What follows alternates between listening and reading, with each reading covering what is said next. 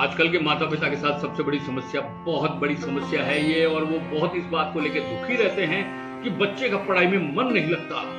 थोड़ी देर भी वो बैठता नहीं, घर पे पढ़ने, कोचिंग पे भेजते हैं तो वहाँ भी वो मन लगा के नहीं पढ़ता। जब उसका रिज़ल्ट आते हैं तो पीटीएम में जाते हैं तो बहुत सारी मुश्किलें सामना करना पड़ता है। टीचर से मुझे सुनना पड़ता है उसके बारे में, करें क्या क्या नहीं करें, कुछ समझ में नहीं आ रहा है।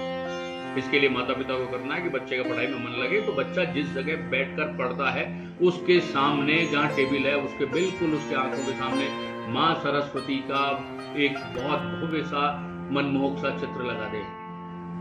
और जब भी वो बच्चा वहाँ बैठकर पढ़े, पढ़ने से पहले माँ सरस्वती की आराधना करे, उसके हाथ जोड़े और गुलाब की तीन अगरबत्ती जलाए। और जलाकर माँ सरस्वती से प्रार्थना करें कि मेरा पढ़ाई में मन लगे, मेरे अच्छे से नंबर आए और उसको जला दें आप देखेंगे कि यदि उसने ये करना शुरू किया तो माँ बाप के साथ में जो तकलीफ़ है कि बच्चे में पढ़ाई में मन नहीं लगता, कैसे आएगा अच्छा रिज़ल्ट हमारा तो रात दिन इसी बात में गुजर जाता है कि किसको क्या जवाब देंगे? पड़ोस वाले शर्मा जी का बच्चा तो बहुत अच्छी पढ़ाई करता है, इसके अच्छे नंबर नहीं आते।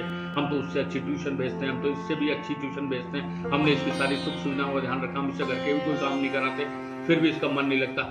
ये आप कर दें फिर आप भी कहेंगे कि उन सब की जगह मेरे बच्चे का भी मन लग रहा है और बहुत अच्छे उसके नंबर आ रहे हैं।